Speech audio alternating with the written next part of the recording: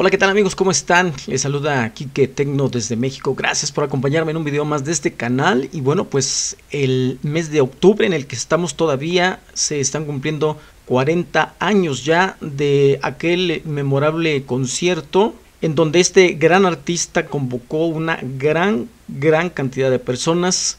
Mucha de la gente que recuerda ese evento y que estuvo presente en un evento anterior que fue la visita de el Papa Juan Pablo II en ese mismo lugar, en ese mismo sitio.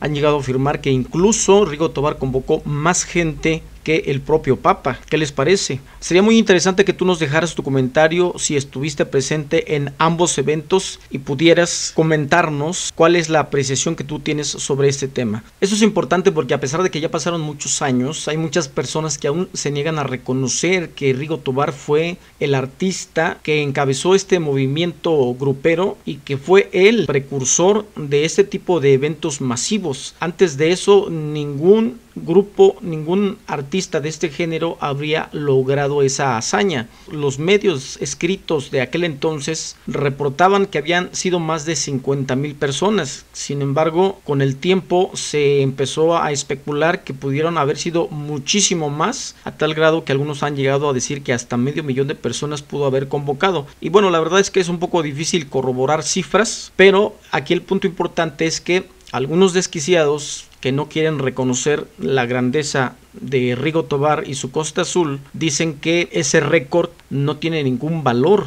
¿Y por qué? Según sus argumentos, que porque fue un evento gratuito. ¡Ay, qué fácil! ¡Ah, un problema más difícil! Y sí, efectivamente fue un evento gratuito, fue contratado, contratado entre comillas, ¿verdad? Porque él no cobró, él cobraba según se sabe en aquel entonces cobraba un millón de pesos por presentación, imagínense ustedes. Él no cobró, él mismo de su propia boca lo dijo, fue el PRI que lo contrató para poder convocar a tanta gente, porque los políticos siempre han sido muy astutos y se dieron cuenta que eventos religiosos, utilizando una figura como el Papa o algún artista con tanto arrastre como Rigo Tobar, podían convocar eh, a mucha gente pues para sus fines partidistas. Por eso se presentó Rigo Tobar en ese evento, por si de pura casualidad tú no lo sabías. Entonces este hecho de que haya sido un evento gratuito hace que muchos digan que no cuenta ese récord. ¡Ay, no, pues Que no tiene ninguna validez porque no fueron boletos pagados. ¿Tú qué opinas al respecto? Me gustaría saber mucho tu opinión. En lo personal, mi punto de vista es que es un récord completamente válido. Porque cuando un artista no tiene el arrastre que tenía Rigo Tobar en ese momento, aunque el evento fuera gratis, la gente ni de a gratis va.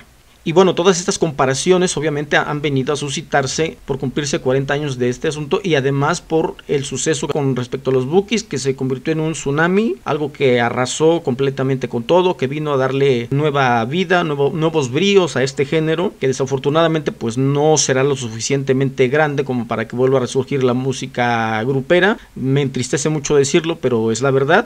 Así que no se equivoquen, señores, no traten de restarle ningún mérito a Rigo Tobar y su Costa Azul. Primero fue Rigo y su grupo y después que se formen todos los demás. Te invito a que veas los videos que ves a continuación en pantalla. Seguramente alguno de estos te va a interesar. Saludos a todos. Gracias por ver este video.